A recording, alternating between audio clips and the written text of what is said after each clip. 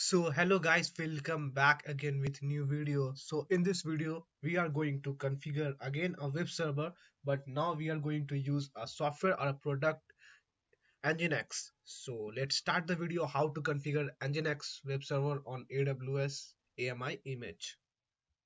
So again, we are going to use EC2. Again, launch the instance so amazon linux 2 ami we are going to use. Next i'm again using t2 micro that is free child free tad eligible with one cpu and 1 gb of memory. Now configure details. By default i'm not going to touch. And they have a root a size of 8 gib create a tag. Nginx. Now uh, we are going to do http also hypertext transfer protocol when client request to the web server.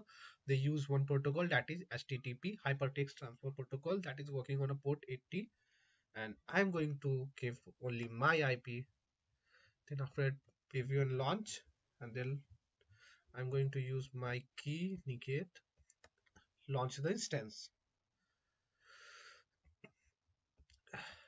Let's till the time they launching i have created a doc. So first we need to uh, uh, in red hat we don't have we cannot install directly nginx so we need to configure a repository for that. So this link will help us to configure repository. Then we are going to install epel release. It will download the software from the internet. So let's see how. And then update the we are going to then update our yum for no issue all the like uh, software requirement if they need it will clear. Then after that install nginx. Then we are step 5 we are going to see the version. And in nginx we need to start as well as enable the services. In step 6 and 7 after that we can see our uh, status of nginx it is running or not. Then we have a public IP, go to web browser and put that so we can access the web page. And if you want to put any content, this is the document root folder of Nginx. So now let's start. Our instance instance state is in pending state. So just wait for a while, it will in running state. They are just configuring our instance on a data center.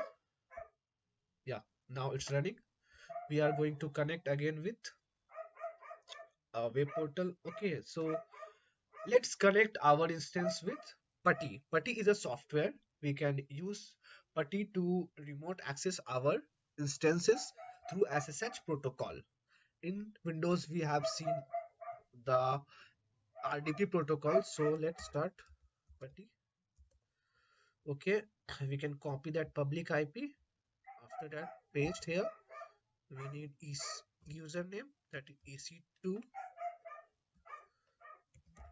user at the rate and then we need to upload here the private key. So i have my private key ppk file.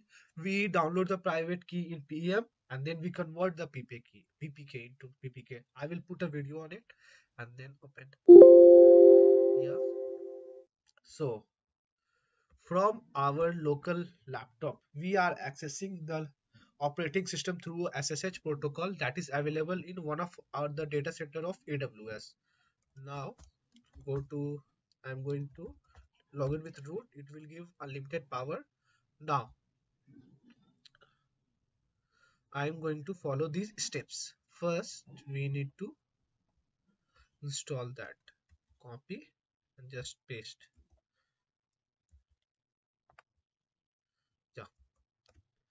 they will go to internet and configure repository. Yeah done. And next step is you install epel release.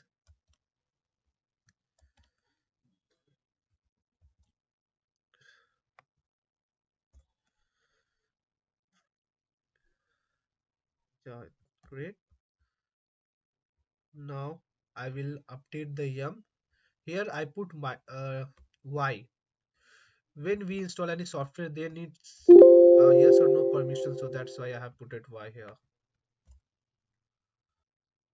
So it will automatically install that package. Don't need to ask me why or not.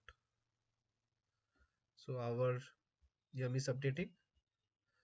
After that, we have to install Nginx normally. Okay, let's suppose we don't put Y. So what happened? Separate.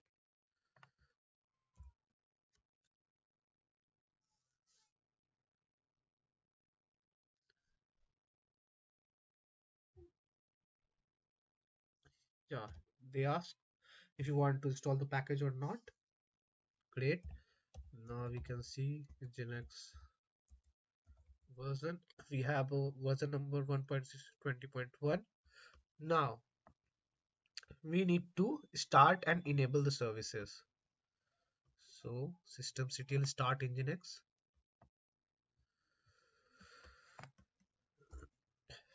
Great. And now enable the services.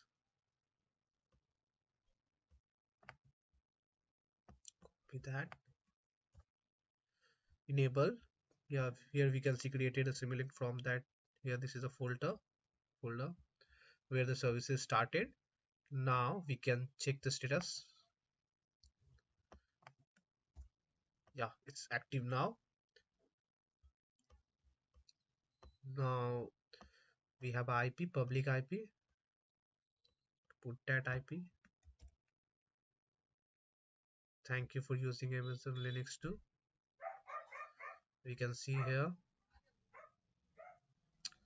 Or we can use curl also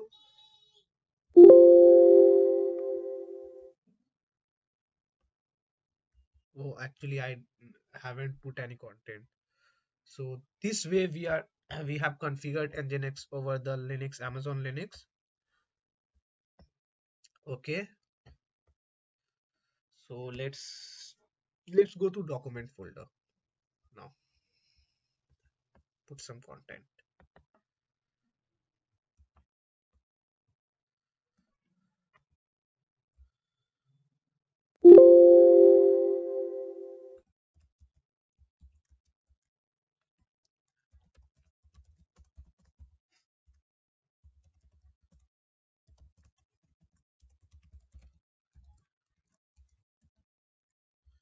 we can see the content here. Great. Now refresh the web page. Yeah. We can see here this is nginx on aws cloud. So that's all about this video. If you like the video please hit the like button and subscribe to my channel and share it to your friends